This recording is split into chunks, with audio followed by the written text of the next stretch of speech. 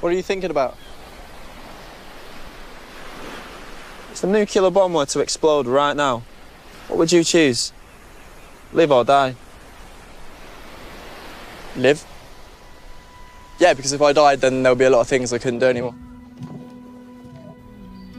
I'd never see my family again. I'd miss the sun on my face. I'd never eat my favourite food again. Never travel. Never be in love. I wouldn't live. What about you? What would you choose? Live or die? Die. Because if I survived, I wouldn't be able to do a lot of things anymore. I'd never see my family again.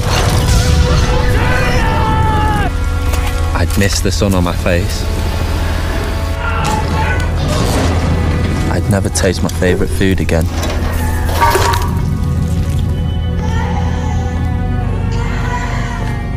Never travel.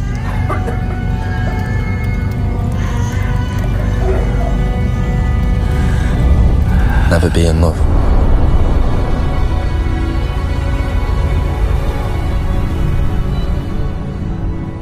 I wouldn't live.